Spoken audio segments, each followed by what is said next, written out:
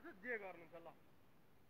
तपाईँले पनि भन्नुभयो तपाईँ पनि नागरिक हो कि हो थाहा अब गैर नागरिक जस्तो तरिकाले कुरा गर्नुभएको छ सरकारी कार्यालय बाहिरबाट लिइरहेको छ तपाईँहरूको गोप्य कुनै तस्करी भ्रष्टाचारको खिचेको भए पनि ल ठिकै छ। हाम्रो चाहिँ यो ऊ बदनाम हुने पो भन्ने कुरा हुन्छ यार। हजुर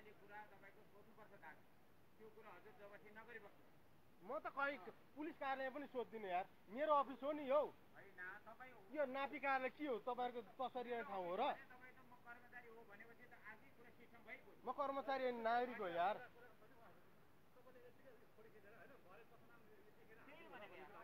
किन हाने हाले भने त म मान्छेले हाले नि कानुन बमोजिम मलाई सजाय दिलाउनुहोस् न यार फोटो खिच्न ल्याए दुनियाँ त्यस त्यस्तो